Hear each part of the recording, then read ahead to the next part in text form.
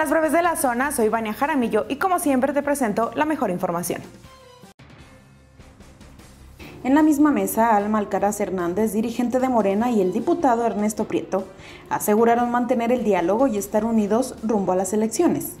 La ocasión que logró juntarlos fue la presentación en León de Óscar Novela Macías como delegado especial para las elecciones en Guanajuato. Aseguraron, tampoco se trató de formar un bloque para dar apoyo a Ricardo Sheffield Padilla en su aspiración por la candidatura a la alcaldía de León. Jaime Humberto, coordinador de los delegados a nivel nacional de Morena, aseguró que el único propósito de la rueda de prensa que dieron hoy en León era presentar a Novela y no apoyar a nadie.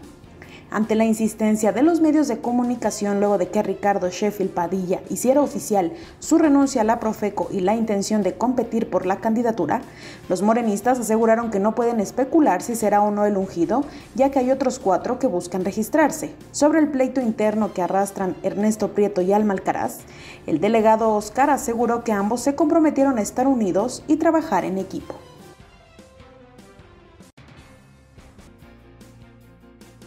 Con 37 defunciones más registradas en Guanajuato a causa de la COVID-19, la entidad ya alcanzó los 9.900 decesos. Las últimas pérdidas registradas en el estado reportan que 8 de ellas no tenían ninguna enfermedad previa.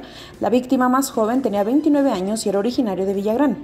León reportó 19 defunciones más, Irapuato 4, Silao y Celaya 2 respectivamente. Sobre los contagios diarios, de acuerdo a la Secretaría de Salud, se reportaron en las últimas 24 horas 337 personas más positivas al virus, por lo que suman 121.866 casos acumulados.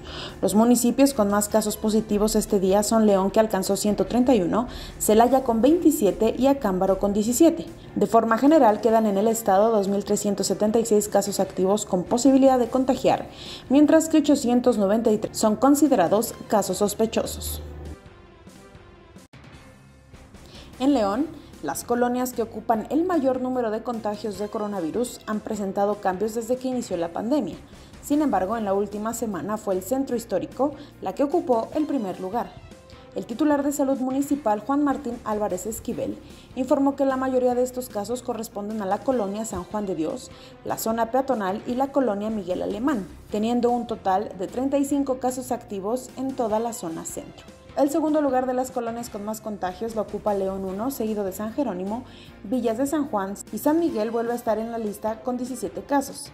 Sobre el rango de edades con más contagios durante la última semana está el de 90 a 95 años de edad con un aumento del 9% de casos confirmados.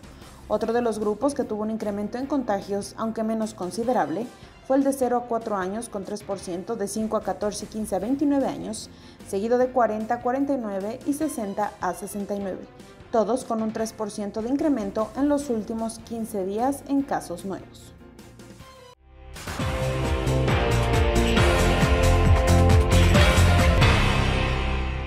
Todos los detalles de la información en nuestro portal, puedes hacerlo también a través de todas nuestras redes sociales y por supuesto mañana Carmen Martínez tiene para ti mucha más información.